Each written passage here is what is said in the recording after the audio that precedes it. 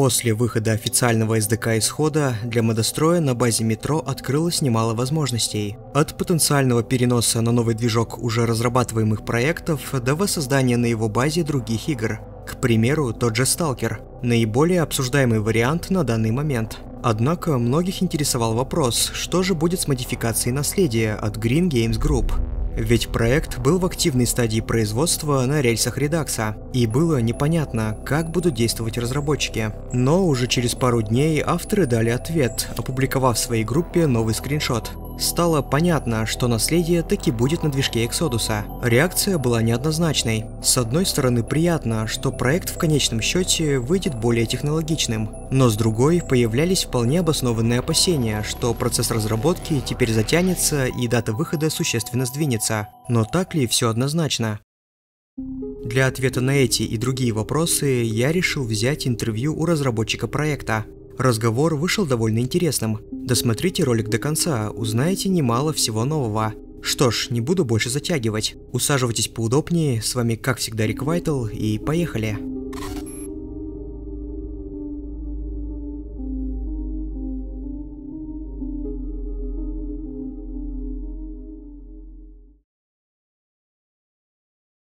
Слушай, можешь сейчас хлопнуть, пожалуйста, чтобы потом на дорожках как бы это, ну, отследить? Где диалог начинается. Я хлопну, и ты хлопнешь.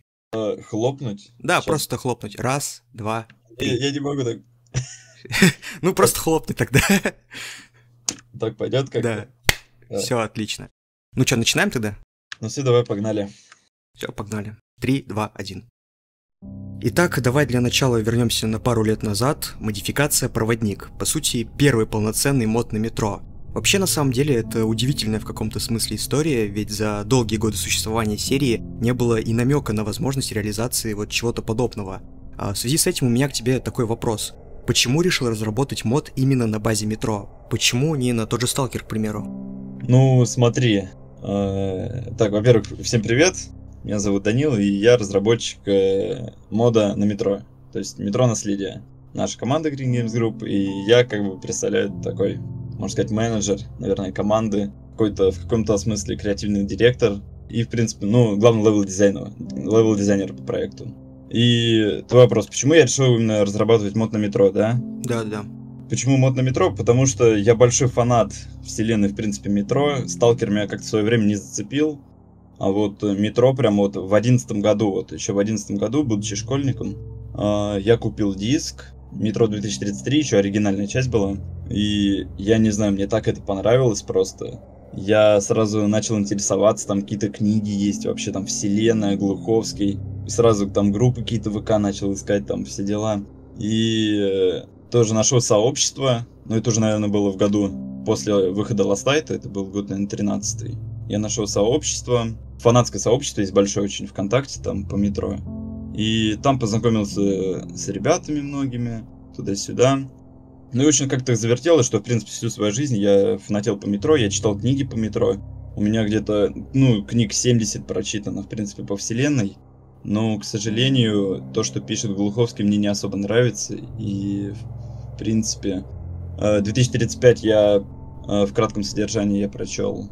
А первые две книги, ну, я не то, что их не читал, я так, в общем, знаю, что у них происходит, если это можно так сказать. И поэтому метро, а не сталкер. Потому что я большой фанат метро. И, в принципе, все мои проекты, которые были до моддинга метро, они тоже были связаны с метро. Вот так вот.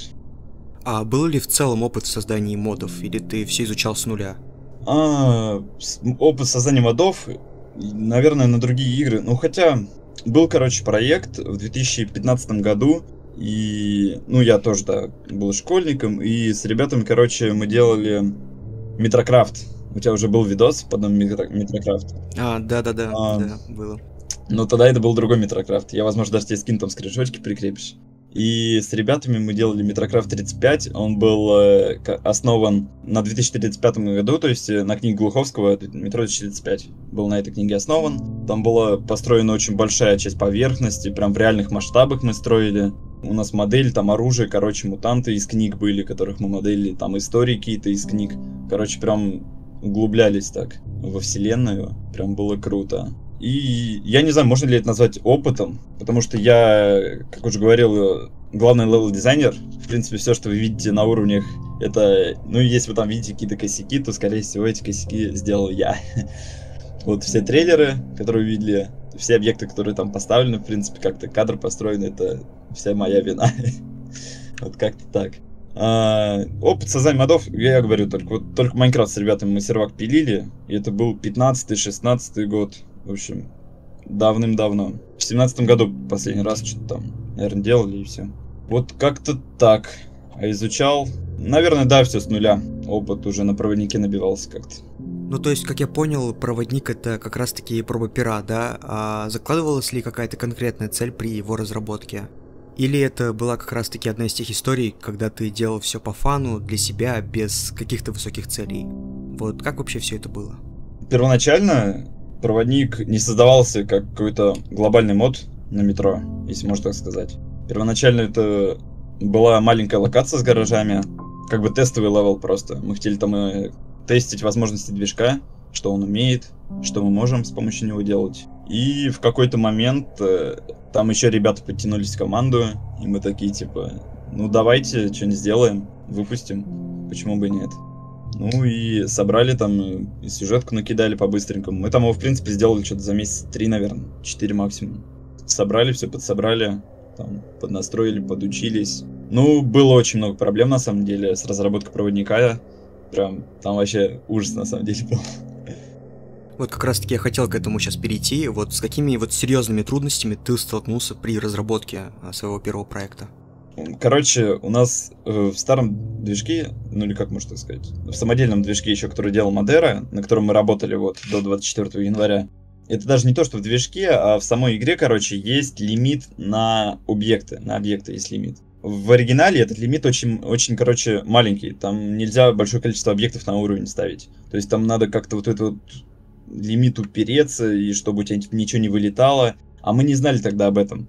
И вот я, короче, пропил уровень, ну, как бы заполнял уровень объектами, там машинки, все туда-сюда, сосульки. Прям плотненько так делал. И в какой-то момент э, там даже было меньше одной шестой даже локации уже сделано. И оп, теперь я захожу в игру, у меня все вылетает. И непонятно почему. Я убираю часть, части объектов, и у меня все это запускается. И вот это, наверное, была первая такая проблема, с которой мы столкнулись. Это прям вообще беда была. Потому что нужно было как-то сделать локацию, причем уложиться в лимиты, которые у тебя есть. И, ну, о которых ты, можно сказать, даже не знаешь, о этих лимитах. Это вообще, на самом деле, дурдом был. Вот уже в редакции, в редакции, да, этих лимитов, нам, можно сказать, их нет там. Они есть, но там очень большой буфер, короче, вот так. А как спустя годы и накопленный опыт сам оцениваешь первую работу? Мы уже говорили, что это типа проба пера. Мы просто попробовали, что мы можем. Вот и все и выпустили. В принципе, мы выпустили-то его потому, что, чтобы показать, что, в принципе, моды на метро делать возможно. Просто этим никто не хочет заниматься. То есть вы сами в целом остались довольны проделанной работой? Не было такого, что сейчас уже спустя годы думаешь, вот надо было все-таки побольше времени этому проекту уделить, чтобы было еще лучше? Или ты нормально к этому относишься? Да не, для первой работы на самом деле нормально, потому что в команде, например, э, все, кто делал этот мод, Э, условно говоря, не занимались ни сталкерским моддингом, вообще в целом никаким моддингом. Типа, вот просто ребята пришли, там, я чуть-чуть умею моделить, я чуть-чуть там умею программировать, я там чуть-чуть умею заполнять локации, и все. И вот так начали делать проводник. А был ли какой-то фидбэк от самих 4A Games? Они выходили с тобой на связь вот после проводника? Да, я даже больше скажу, я на связи с 4A Games был еще до, э, до разработки проводника. Потому что я в таком сообществе общался, метрошников, если можно так сказать. Ну, короче, да, связь была с Free Games. Фидбэк тоже был. Не буду говорить, наверное, от кого из Free Games. Хотя, наверное, можно сказать. Но не буду. Ладно. Э, короче, общались мы с человеком, э, с которым мы консультировались, там, э, ну, короче, какие-то вопросы там еще по движку задавали. И как раз-таки мы даже с Алисием Шишковцовым, это, ну, который, и в принципе написал For Games, ой, For Games, For Engine, Алиш Шишковцов, и мы к нему выходили на связь, что там спрашивали насчет как раз-таки того буфера, из-за которого у нас были проблемы. И он нам отвечал, что, типа, это вшито в движок, и без хука, типа, с этим нельзя разобраться. И фидбэк был, да, нам разработчик, э, наш, нам разработчик присылал файлик, где там описал как, все свое прохождение проводника. Мы там вообще угорали конкретно. Ну, прикольно, прикольно, что даже оригинальные разработчики метро поиграли наш, в наш мод. Прикольно. Не мог бы ты зрителям рассказать о всех этих затруднениях и подводных камнях, связанных с SDK? Я вот лично таки не смог до конца понять, что там за нюансы были, и вот в связи с этим хотелось бы восстановить полную хронологию. Что там было с уже упомянутым тобой инструментарием Модеры и, собственно, вот перейти к реалиям сегодняшним? Как все это началось? Ну вообще да, то есть какие были основные затруднения, связанные с SDK, какие нюансы были при разработке и как вообще развивался инструментарий для метро? Нюансы разные были, это в плане неудобности какой-то интерфейса, там каких-то у тебя функций нет, какие-то есть, и понятное дело, что в самодельном SDK, особенно на ранней его стадии разработки, когда еще Модера его только начинал пилить, там, условно говоря, было две кнопки и поставить объект, все. Потом Модера начал его улучшать, начал всякие фичи туда добавлять прикольные. Типа, дошло до того, что в SDK, в самодельном SDK для метро, ты просто нажимаешь одну кнопку, и сразу у тебя заходит все в игру, и ты тестишь, как, как у тебя что получилось. Вот так вот. Самодельный SDK. Не, модерн на самом деле в данный момент, в данный момент, э, самодельный SDK вот на тот же оригинал модить, если 2010 года, то там все, все есть для этого. Типа сейчас можно оригинал 2033 вообще вот спокойно модить вообще без каких-либо ограничений. Там уже есть и хуки различные, которые там убирают весь буфер, буфер на объекты на уровнях. Там вообще все есть. Я не знаю, мне кажется, там и анимации можно добавлять, там, короче, полный фарш. Нюансы еще какие были? Из технических нюансов я не скажу, что еще какие-то были. Наверное, больше, возможно, где-то рук не хватало, где-то знаний не хватало. А так, особо, кроме как вот этого буфера на объекты, у нас не было затруднений. Хорошо, перейдем к наследию. А, не кажется ли тебе, что наследие, с учетом концепции и всех задуманных нововведений, а, слишком высокая планка для второй работы? Нет страха стать заложником своих амбиций? Э, ну давай начнем прям с самого начала, как вообще появилось наследие, да? Вышел проводник, мы получили прям какой фидбэк, мы даже не ожидали, типа, ноунеймом, считай, какой-то мод на метро выкладывает а там ютуберы какие-то прям популярные начинают видосы какие-то пилить. Мы прям вообще обалдели. И э, наследие. Наследие начал, начал делаться уже, наверное, спустя неделю после выхода проводника.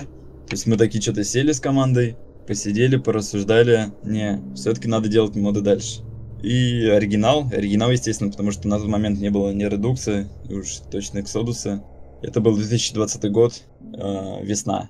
И все, мы сели как-то делать, начали прорабатывать, в принципе, концепт мода. И первая концепция мода, скажу так, первая концепция мода, если бы мы ее делали по первой концепции, то мод бы уже вышел, наверное, года полтора или, ну, или год назад, типа, максимум. Первая концепция наследия, э, там, в принципе, была одна станция, кусочек поверхности, как раз таки, где Министерство иностранных дел, там, короче, вот эта вот часть, Смоленская площадь. И все, это должен был быть мод, похожий на кшатри, типа луталки, там мутанты по поверхности бегали бы, э, вы просто ищете лут какой-нибудь и приносите на станцию, как бы, все. Потом э, пришли еще ребята в команду, как-то нас уже стало побольше, и как-то все это переписывалось постоянно, вся концепция, там, додумывалась, мы прям сидели, голову ломали, да мы и до сих пор ломаем, как там это лучше сделать, как то лучше сделать, а как тут. И сидим, что-то такие, блин, да что-то это, какой-то маленький мод получается, может что-нибудь побольше сделаем. И мы что-то так просидели, и, наверное, за один вечер мы, в принципе, продумали концепцию уже того наследия, которое есть сейчас. Я даже скажу больше, э, в одну четвертую, вот ну, первую половину разработки, или как можно сказать, Короче, на начальной стадии разработки, в принципе, даже названия у проекта не было. Он в диздоке просто у нас прописан как Open World Project, и все. Я, на самом деле, не боюсь, потому что вот э, ты говорил там заложником своих амбиций, да? Да-да-да. А, я как-то не знаю, у меня нет страха, потому что мы все можем сделать то, что сейчас у нас расписано и придумано, и уже сделано, а, а часть уже перенесено. Вот так. Нужно просто работать и заниматься. Вот, вот что я скажу. А, уже сейчас историю разработки Legacy можно назвать по сути уникальной, ведь за несколько лет создания проект разрабатывается уже на третьем движке. Казалось бы, вот вы наконец переехали на редакс-версию, все в порядке, освоили новый инструментарий, подходы к разработке, все налажено, отлажено и так далее. И тут, 24 января, 4A Games выкатывают SDK Exodus. Какова была твоя первая реакция и реакция команды на все это? Угу. А, и в этот момент, как раз таки, когда вышел SDK, я сидел с Андреем, с нашим главным моделером, а, мы сидели с ним в Дискорде, что-то обсуждали, как обычно, и я просто открываю новости и смотрю, просто передо мной картина вышел из ДК на Exodus. Типа, мы пять минут э, разговаривали о том, как э, что-то там будем реализовывать на редаксе, и тут выходит из ДК на Exodus. Я просто сижу, у меня глаза по 5 рублей, типа, и что делать? Типа, первый день вообще, когда я только из ДК вышел, я вообще не понимал, что делать, что будет дальше. Типа, что вообще происходит. Немножко, наверное, как-то было страшно, что там в этом СДК, но как-то Сейчас уже не страшно, на самом деле. Сейчас уже прям все ровно. А вот ваш опыт работы с прошлыми проектами помог в освоении нового SDK или пришлось изучать некоторые аспекты с нуля? Ну, конечно же, были трудности, наверное, первую неделю как-то. Потому что, условно говоря, я, может, я скину скрины, посмотри на SDK Модеры и официальный SDK. Как бы немножко это, немножко там, да, по-другому опыт все равно какой-то есть, потому что даже в самодельном SDK Модер как-то пытался повторить какие-то определенные функции, которые работают так же, как и в официальном SDK. Поэтому, когда, в принципе, я первый раз зашел в SDK, у меня там не было каких-то особых сложностей, что я там, в принципе, нормально. Есть, конечно, у SDK минусы, но, в принципе, пойдет, пойдет.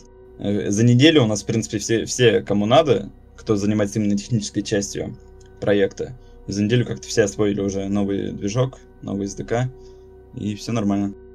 А вот э, решение о переходе на новый SDK и, соответственно, на движок Exodus э, далось вам легко? Или же были альтернативные варианты? Например, все же завершить разработку на Redux-версии? А, решение мы приняли, в принципе, за один день.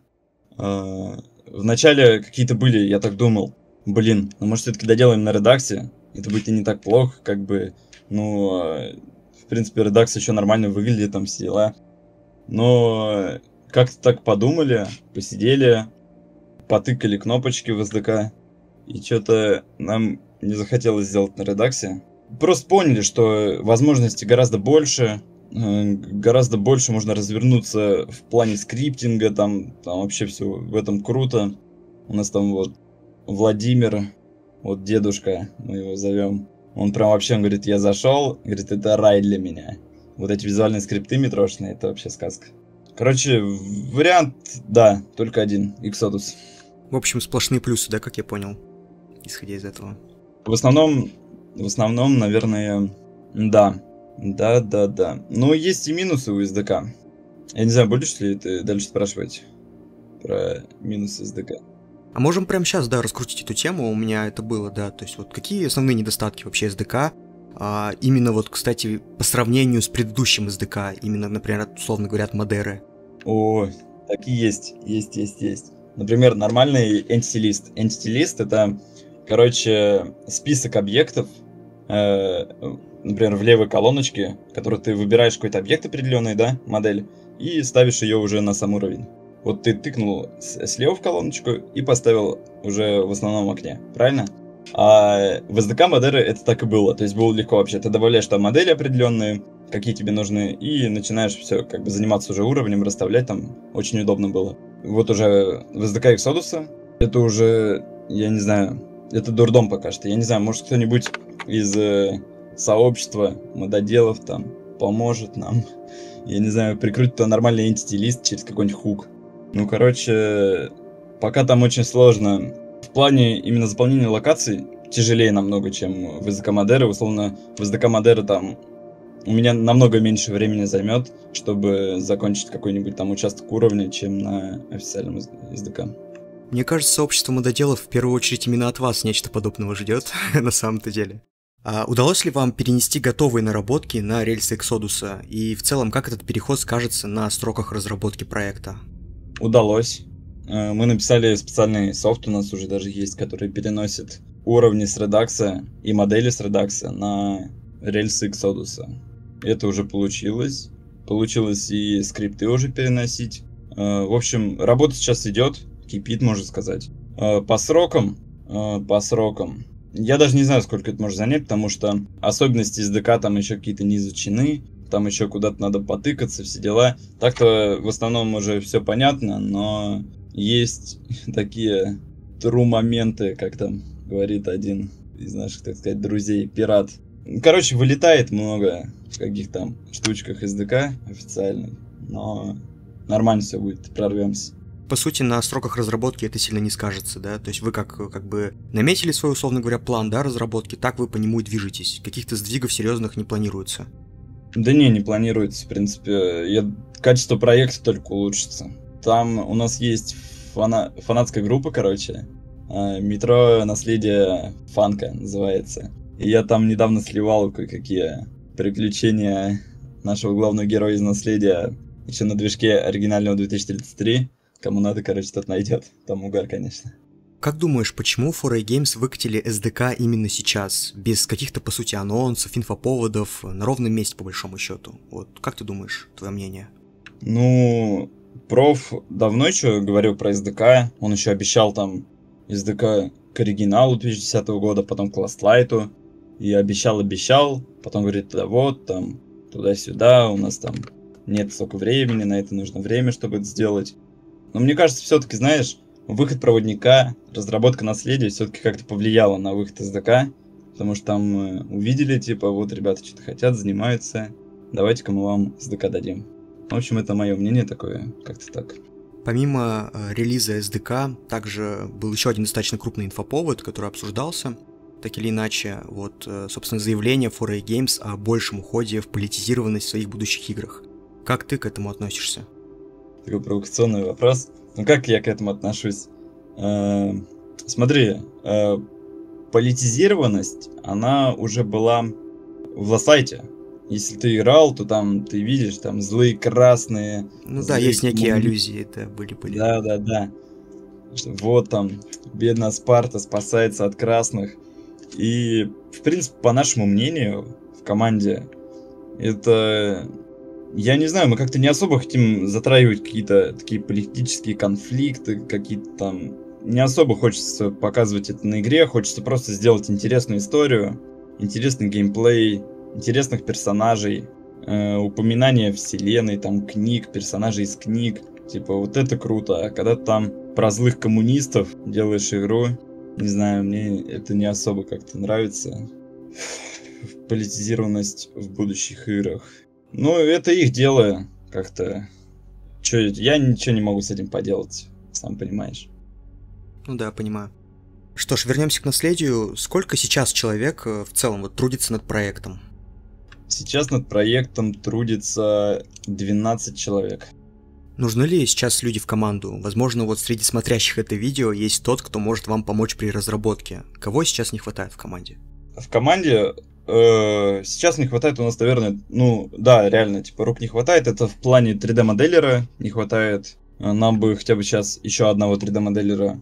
А так, в принципе, очень еще хотелось бы, знаешь, найти человека, который очень хорошо разбирается со звуком. То есть, чтобы, например, у нас есть два актера озвучки, да, и у них разные микрофоны, у них разная громкость. И все это как-то нужно подгонять под одну громкость, чтобы в игре это, ну, не были вот такие вот скачки. Типа один громко, другой тихо.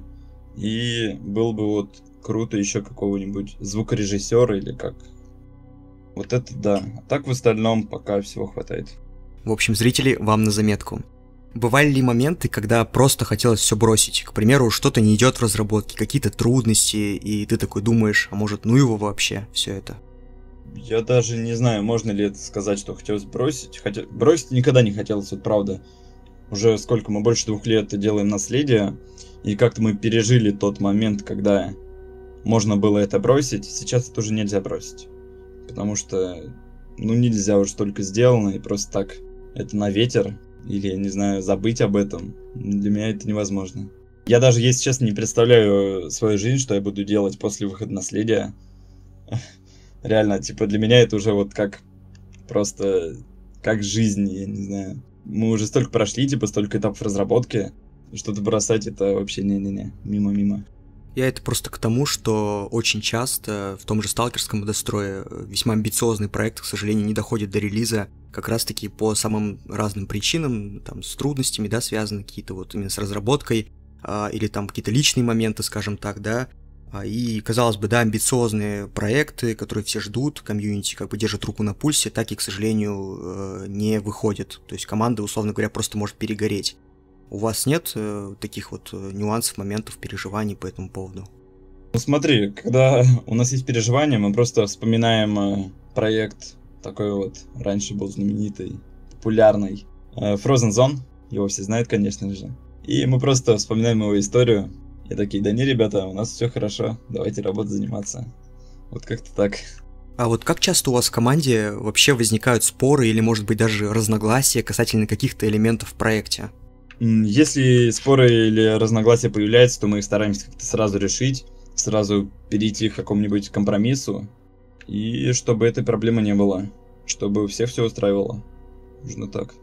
Потому что в команде нет, в принципе, главного разработчика, и мы все на равных, поэтому нужно, чтобы всех все устраивало, потому что все работают, можно сказать, за бесплатно, на энтузиазме. Ну, то есть нет, да, такого, что кто-то там одеяло на себя перетягивает или что-то в этом духе? Нет, нет. Вдохновляетесь ли вы при разработке своего детища другими играми? Подсматриваете, может быть, механики, какие-то фичи, которые считаете удачными в тех или иных моментах игры? В других играх, наверное, нет, а вот э, в основной сюжетке, в основных э, играх которые делали Free Games. Ну, это Last Light, 2033, Redux и Exodus. Там, конечно, подсматриваем, там идеи какие-то. А, здесь вот так можно сделать, там так. И в других играх не особо, типа, в основном, знаешь, если что-то там придумать надо, то это книги по метро, естественно. То есть ими вдохновляешься. Как там какие-то истории, знаешь. У нас, условно говоря, там есть станция, да, какая-нибудь, та же киевская. Просто читаешь э, описание к ней, на метропедии, там, я не знаю, какие-то отрывки из книг, где описывалась эта станция. И вот как ты представляешь ее так себе и делаешь, работаешь. Вот как так. Планируете ли вы как-то развиваться по части медиа, наполнять группу ВК контентом, устраивать конкурсы, события для комьюнити?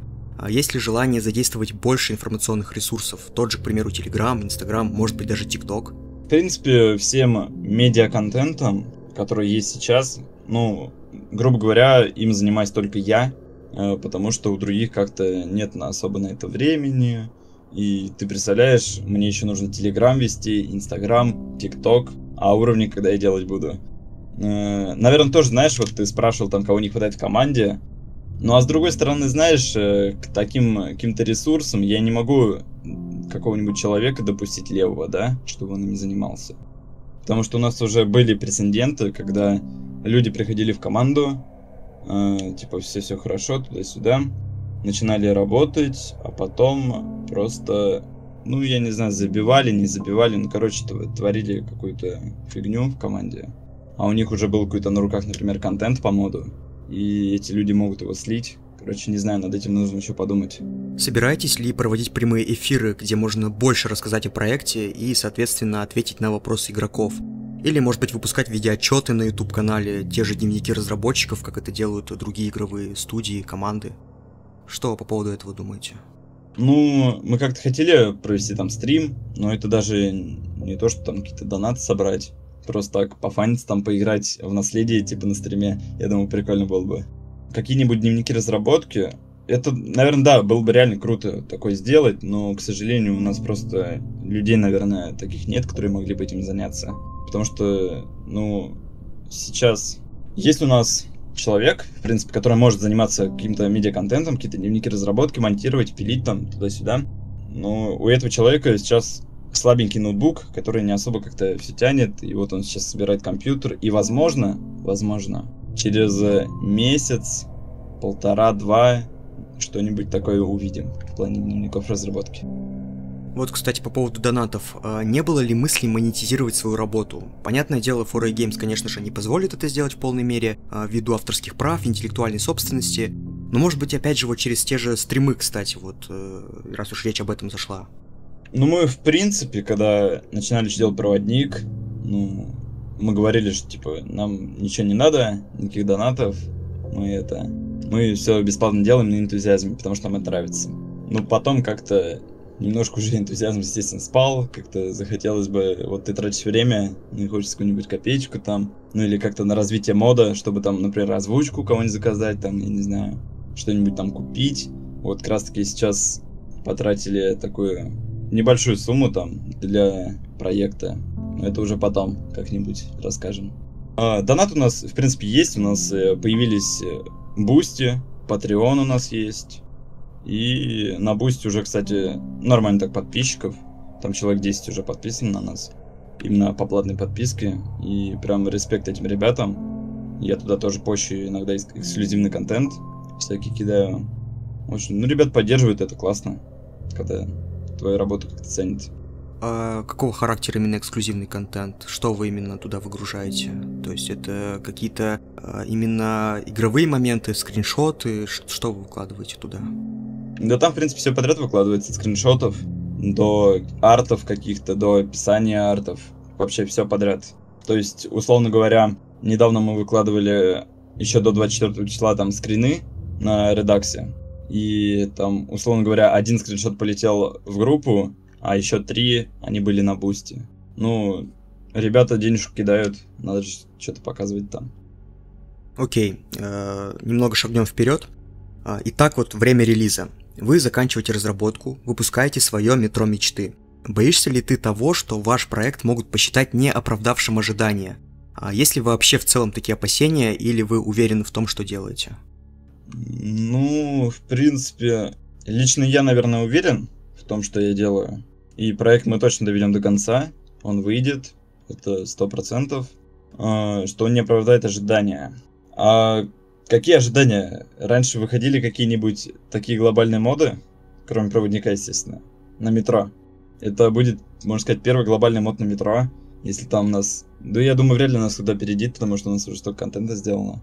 И чтобы такой мод создать на Exodus, какой делаем мы, там года три минимум еще нужно, мне кажется. Опасений нет. Все нормально будет, я думаю. Ну, это главное. Последний вопрос на сегодня. Каким ты видишь модинг на метро в будущем, скажем, через пять лет? Кстати, интересный вопрос, каким я вижу модинг. У метро, в принципе, аудитория намного меньше, чем у сталкера того же. Но у Сталкера она и раскрутилась из-за того, что там выходили моды всякие интересные, там в свое время, когда еще интернет плохо у всех работал, там покупали моды на дисках. Такая тема была прям вообще. Я тоже сам покупал моды на дисках. Это прям вообще прикольно было. И как-то вот так вот Сталкер раскрутился так в СНГ комьюнити, что у него очень большая аудитория, такая фан-база. У метро это, конечно же, намного меньше. Через пять лет, я даже не знаю, может быть, знаешь, может быть такое, что вышел из ДК, ну, моды там, условно говоря, выйдет какой-нибудь там, я не знаю, Васянка там. Аля, как там назывался этот мод угарный на Сталкер Тень Чернобыля, забыл. Диана, ОП, не знаю. Нет, нет, нет. Где там вообще полная хинея, там еще что-то Глад Тень вонючки, может быть? Да, да, да, да. Я не знаю, может, какая-нибудь тень вонючка выйдет там на Exodus, но что-нибудь глобальное в течение 5 лет. Ну, возможно, знаешь, да, через 5 лет какой-нибудь глобальный мод там со озвучкой, там с сюжетом, возможно, выйдет, да. Я не думаю, что прям моддинг метро будет обширный, потому что с SDK довольно сложно работать на самом деле, чем с x Потому что исходников еще SDK нет. Короче, да, подводные камни тоже свои есть.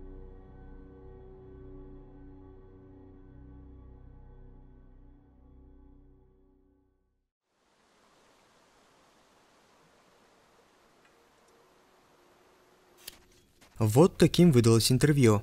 Надеюсь, вы получили ответы на интересовавшие вас вопросы. Если хотите видеть подобный формат чаще, то пишите свои комментарии, ставьте лайки под роликом и, конечно же, подписывайтесь на канал. А, ну и в телегу заходите, куда же без нее, там все анонсы и чат для общения. Ну а с вами был Рик Вайтал. Всем удачи и пока.